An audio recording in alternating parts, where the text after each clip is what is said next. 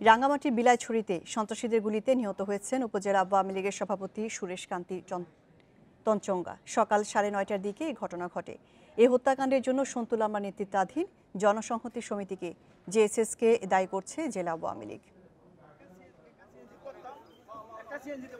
মঙ্গলবার সকালে পারোয়া ইউনিয়ন থেকে নৌকা করে বিলাইছড়িতে আসছিলেন উপজেলা আওয়ামী লীগের সভাপতি সুরেশকান্তি তংচঙ্গা সঙ্গে ছিলেন পরিবারের লোকজন। নৌকাটি ওরাছড়ি এলাকার পাশ দিয়ে যখন যাচ্ছিল, তখন সন্ত্রাসীরা পাড়ে নৌকা ভেড়াতে বাধ্য করে। এরপরই তাকে গুলি করে পালিয়ে যায় দুর্বৃত্তরা। আমার বাদ্য বিরাইতে হয়েছে। এখন আমাদেরকে বিরাইয়া শেষ ম্যাচ ও বলে যে উপরে উঠো।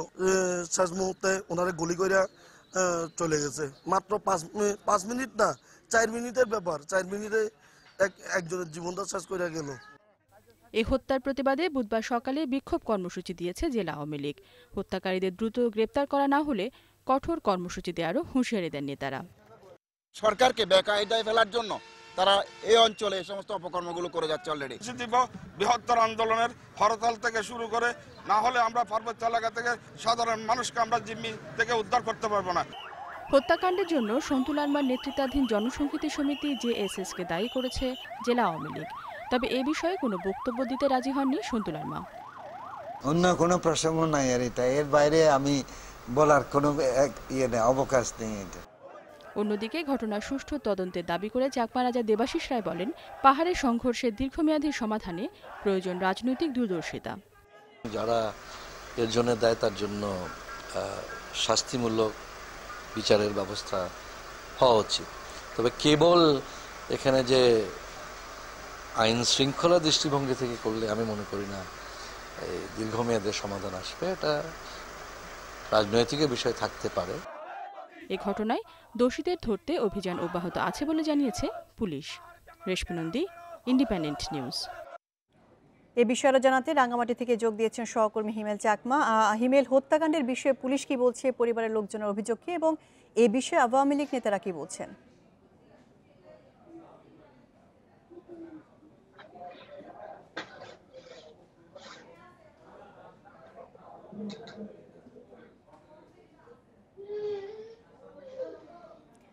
হিমেল, হত্যাকাণ্ডের বিষয়ে পুলিশ কি বলছে? পরিবারের লোকজন কাদেরকে অভিযোগ করছেন এবং আওয়ামী লীগ নেতারা কি বলছেন?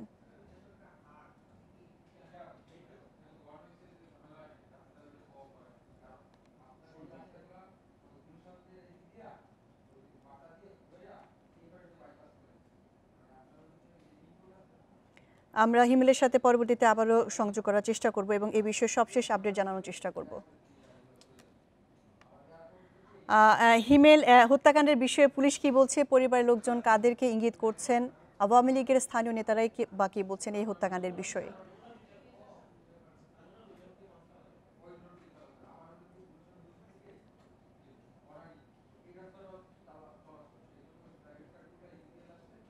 দুঃখিত, এই মুহূর্তে হিমেলের সাথে সংযুক্তি স্থাপন করতে পারছি না। রাঙামাটির বাঘাইছড়িতে সন্ত্রাসী হামলায় সাতজন নিহতের ঘটনায় জড়িতদের ধরতে অভিযান চালাচ্ছে যৌথ বাহিনী। আর দ্রুত ঘটনা তদন্তে আইনশৃঙ্খলা বাহিনীকে নির্দেশ দিয়েছেন প্রধান নির্বাচন কমিশনার। হতাহতদের পাশে থাকার কথাও জানিয়েছেন তিনি। এদিকে ঢাকা এবং চট্টগ্রাম সিএমএচে চিকিৎসা চলছে, আহত সতেরো জনের। নির্বাচনী কর্মকর্তাদের উপর সন্ত্রাসী হামলায় থমথমে পুরো রাঙামাটি। সোমবারের হত্যাকাণ্ডে জড়িতদের ধরতে মঙ্গলবার সকাল থেকেই রাঙামাটির বিভিন্ন স্থানে সাঁড়াশি অভিযান চালাচ্ছে যৌথ বাহিনী। সেনা, বিজিবি ও পুলিশের এই অভিযান চলছে পাহাড় থেকে পাহাড়ে। আমরা অলরেডি সকাল, কালকে থেকে আমরা কম্বিং অপারেশন শুরু করেছি। এবং আমরা যেটা খবর পাচ্ছি যে তারা সন্ত্রাসী যারা এই আক্রমণটা ঘটিয়েছিল, তারা এলাকা ছেড়ে অলরেডি পালিয়ে, পালিয়েছে। বাট আমরা যত সম্ভাব্য যে সমস্ত জায়গায় তাদের অবস্থান হতে পারে সে সমস্ত জায়গায় আমরা খুঁজে দেখছি এবং আমরা একটা কম্বিং অপারেশন করছি এবং কাকেও সামান্যতম ছাড় দেওয়া হবে না। হামলায় আহত সতেরো জনের মধ্যে সাতজনের চিকিৎসা চলছে ঢাকার সম্মিলিত সামরিক হাসপাতালে। তাদের অবস্থা গুরুতর। বাকি দশজনকে ভর্তি করা হয় চট্টগ্রাম সম্মিলিত সামরিক হাসপাতালে। তিনজনের অস্ত্রোপচার হচ্ছে আর সাতজন ইতিমধ্যেই তাদের চিকিৎসা করা হয়েছে যতটুকু প্রয়োজন তারা সবাই ভালো আছেন স্যার কথা বলছেন। এদিকে মঙ্গলবার সকালে আহতদের দেখতে চট্টগ্রামে যান প্রধান নির্বাচন commissioner K M Nurul Huda. এ সময় হামলার ঘটনা তদন্তে আইনশৃঙ্খলা বাহিনীকে নির্দেশ দেওয়ার কথা জানান তিনি। হতাহতদের নির্বাচন কমিশন আর্থিক সহায়তা দেবে বলেও জানান সিইসি। যদি নির্বাচনের অনিয়ম হয়ে থাকে সেটার প্রতিশোধ তো কতগুলা মানুষের জীবন নিয়ে হয় না। আমরা পুলিশকে তদন্তের জন্য নির্দেশ দিয়েছি। তারা তদন্ত করলে বেরিয়ে আসবে কারা করেছে। সোমবার উপজেলা নির্বাচনে ভোট গ্রহণে দায়িত্ব পালন শেষে ফেরার পথে দিঘিনালা মারিশা সড়কের নয় মাইল এলাকায় নির্বাচনী কর্মকর্তা ও আইনশৃঙ্খলা বাহিনীর সদস্যদের ওপর গুলি চালায় সন্ত্রাসীরা। এতে নিহত হন সাতজন। জাহিদুল বাসার ইন্ডিপেন্ডেন্ট নিউজ ডেস্ক। এ বিষয়ে আরও খবর জানাতে যোগ দিয়েছেন সহকর্মীরা। শুরুতে বাঘাইছড়ির পরিস্থিতি জানাবেন অনুপম শীল। অনুপম সেনাবাহিনী সারাশি অভিযান চালাচ্ছে, এ পর্যন্ত তারা কাউকে আটক করতে পেরেছে কিনা এবং নিহতদের মরদেহ পরিবারের কাছে হস্তান্তর করা হয়েছে কিনা, এই ধরনের হামলা কেন হলো, সে বিষয়ে আইনশৃঙ্খলা বাহিনী কোনো তথ্য দিয়েছে কিনা? দেখুন, আসলে আমরা সমতলে বা দেশের অন্যান্য স্থানে যে ধরনের অভিযান পরিচালনা করা হয় এখানে কিন্তু সেই অভিযানের রকম বেশ আলাদা। অর্থাৎ এখানে আমরা অন্যান্য জায়গায় অভিযান পরিচালনার ক্ষেত্রে যেমনটা দেখি যে একেবারে অনফিড আইন শৃঙ্খলা রক্ষাকারী বাহিনীর সদস্যরা গিয়ে বিভিন্ন বাড়ি বাড়ি তল্লাশি করে যে পদ্ধতিতে আসলে অভিযানের কার্যক্রমটি চালান। এখানে সেভাবে সম্ভব নয় যে এটি ভৌগোলিক কারণেই সম্ভব নয়। এর জন্য আসলে এই এলাকার সারাশি অভিযানের পদ্ধতি এবং প্রক্রিয়াটা ভিন্ন, এবং সেক্ষেত্রে তারা অনেক বেশি গোয়েন্দা তথ্যের উপর নির্ভর করে। এবং মূলত যে যে পয়েন্টগুলোতে তাদের কাঙ্ক্ষিত লোকজন বা দুর্বৃত্তরা থাকার সম্ভাবনা থাকে, সেই সমস্ত পয়েন্টগুলোতেই শুধুমাত্র আইনশৃঙ্খলা রক্ষাকারী বাহিনী তাদের অভিযান পরিচালনা করে। সেই প্রেক্ষাপটে আসলে আজকে সকাল থেকে যে সারাশি অভিযানের কথা বলা হচ্ছে, সেটি এখনও পর্যন্ত কাউকে গ্রেপ্তার হয়েছে, এরকম কোনো খবর আসলে আমাদের কাছে নেই। এবং আমরা যেটি এখনও পর্যন্ত এর আগেও যেমনটা দেখেছি বিভিন্ন সময়ে যে এই সমস্ত অভিযানগুলোতে কিন্তু বেশ কয়েকদিন সময় ধরে চলে এবং সেই সময়ের ফলে দেখা যায় যে সামগ্রিকভাবে কোনো একটি জায়গা থেকে হয়তো কাউকে আটক করা বা কোনো একটি সফলতা আসতে পারে। আর এখনও পর্যন্ত আসলে আমরা এখন রয়েছি দীঘিনালা দীঘিনালা যে বাজারে, সেই দীঘিনালা বাজারে এবং আমরা কিছুক্ষণ আগেই বাঘাছড়ি থেকে এখানে এসেছি এবং আসার সময় সকালেও আমরা যেমনটা বলেছিলাম যে রাস্তাঘাটে যানবাহনের চলাচল একেবারে নেই বললে চলে এবং আর পাশাপাশি দিঘি বাঘাইছড়ি বাজার এবং এখানে দিঘিনালা বাজারেও কিন্তু দোকানপাট, বেশিরভাগ দোকানপাটই বন্ধ। সাধারণ মানুষ যার খুব বেশি প্রয়োজন হচ্ছে না, তিনি কিন্তু বাসা থেকে বা ঘর থেকে বেরোচ্ছে না। এবং সেটি যেমন পাহাড়িদের ক্ষেত্রেও সত্য যে বাঙালিরও ঠিক একই রকম অবস্থার মধ্যে দিয়ে যাচ্ছে। আর যে সমস্ত গতকাল মূলত যারা মারা মারা গিয়েছিলেন, তাদের মধ্যে যারা এখানে মারা গিয়েছেন, অর্থাৎ বাঘাইছড়িতে মারা গিয়েছেন, তাদের মরদেহ আজকে সকালে খাগড়াছড়িতে নিয়ে যাওয়া হয়েছে এবং সেখানে ময়নাতদন্ত শেষে ইতিমধ্যে তাদের যে হস্তান্তর প্রক্রিয়া সেটি শুরু হয়েছে আত্মীয় স্বজনের কাছে। এবং আমরা এলাকায়ও যেটি দেখেছি যে বিভিন্ন মসজিদ থেকে মাইকিং করা হচ্ছে যে তাদের নামাজে জানা আরেকটি ব্যাপার জানতে চাচ্ছি যে ঘটনার পর ওই এলাকার পরিস্থিতি নিয়ন্ত্রণে কি ধরনের ব্যবস্থা নেওয়া হয়েছে প্রশাসন থেকে? পরিস্থিতি বলতে আমরা এখন আজকে সকাল থেকে যেমনটা দেখছিলাম যে, বিশেষ করে দিঘিনালা থেকে মারিশা পর্যন্ত যে সড়ক রয়েছে, সেখানে টহল জোরদার করা হয়েছে এবং একেবারে প্রত্যেক এইসব দুইটি বাজারের মোড়ে মোড়ে এবং প্রত্যেকটি জায়গায় আসলে গুরুত্বপূর্ণ জায়গাগুলোতে সেনাবাহিনী বিজিবি পাশাপাশি পুলিশের আমরা দেখছি অনেকগুলো চেকপোস্ট কাজ করছে। এছাড়াও আজকে এখানে জেলা প্র- আহ, যে চ- রাঙামাটি জেলা প্রশাসক অতিরিক্ত চট্টগ্রাম রেঞ্জের অতিরিক্ত ডিআইজি এবং রাঙামাটির পুলিশ সুপার এসেছিলেন বা বাগাইছড়িতে তারা এখানে সাধারণ মানুষজনের সাথে কথা বলেছেন, যে আতঙ্ক রয়েছে সেই আতঙ্ক প্রশমনের জন্য এবং এই পরিস্থিতিতে যাতে নতুন করে কোনো ধরনের সহিংসতা বা নতুন করে কোনো ধরনের সুযোগ সন্ধানে কেউ যাতে নতুন কোনো কিছুকে উস্কে দিতে না পারে, সেই বিষয়টি মাথায় রেখেও কিন্তু জনসাধারণের সাথে কথা বলেছেন। অর্থাৎ সবকিছু মিলিয়ে কিন্তু এখন আতঙ্ক আছে থমথমে পরিস্থিতি। আর যারা এখন চিকিৎসাধীন আছে, আমরা তাদের খবরটি জানতে চাই। আমাদের সহকর্মী ইফতেখার ফয়সাল রয়েছেন। ইফতেখার আসলে চট্টগ্রামে যারা সম্মিলিত সামরিক হাসপাতালে চিকিৎসাধীন অবস্থায় এখন রয়েছেন। তাদের শারীরিক পরিস্থিতি কেমন?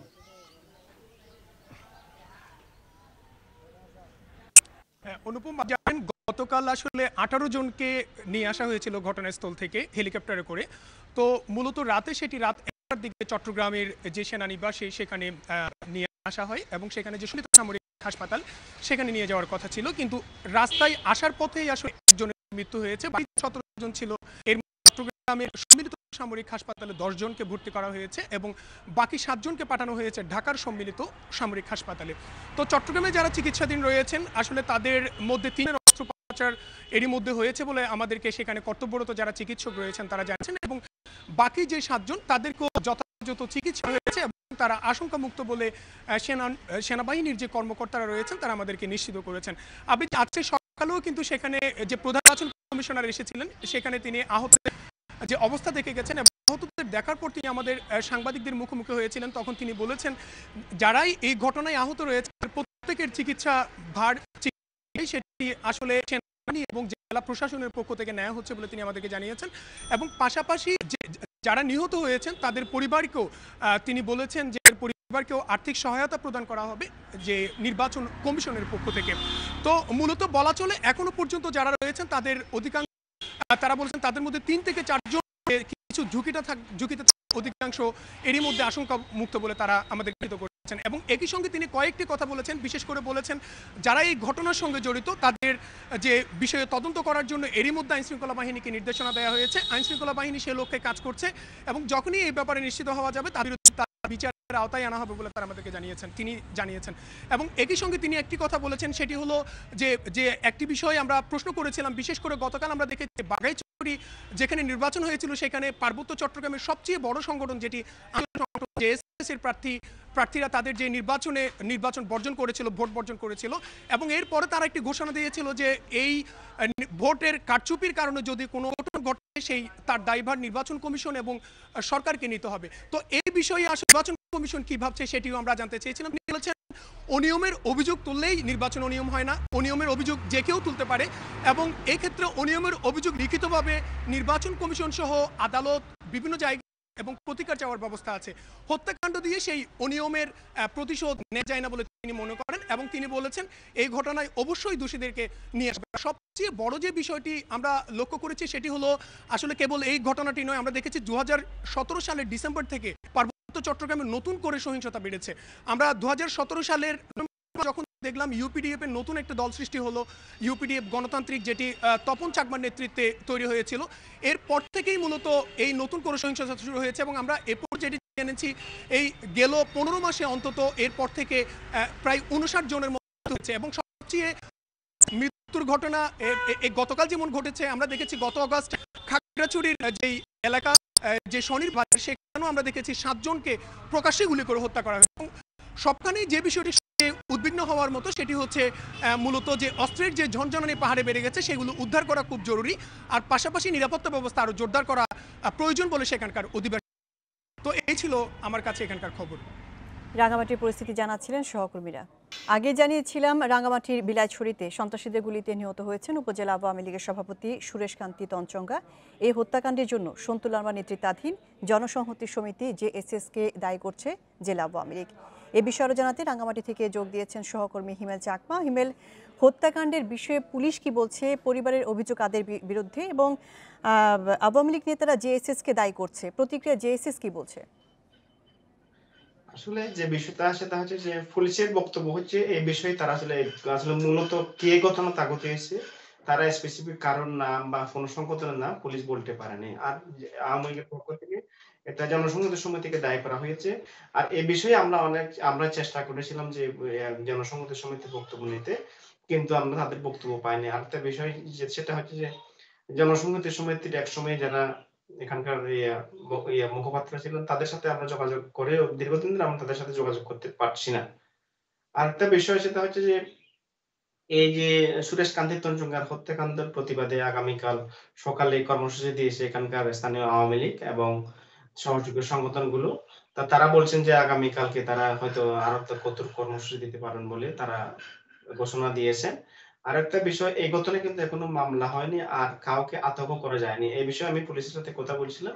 পুলিশ পক্ষ থেকে বলা হয়েছে যে, যারা এই ঘটনার সাথে জড়িত, তাদের ধরতে পুলিশি অভিযান পরিচালনা করা হচ্ছে। চাকমা মরদেহ এখন কোথায় আছে? মরদেহ দুপুর দুইটা নাগাদ রাঙামাটি জেনারেল হসপিটালে ময়নাতদন্ত শেষে বিলাইশুরিতে নেওয়া হয়েছে। বিকালে মরদেহ পরিবারের কাছে হস্তান্তর করার কথা রয়েছে। রাঙামাটি থেকে বলছিলেন হিমেল চাকমা।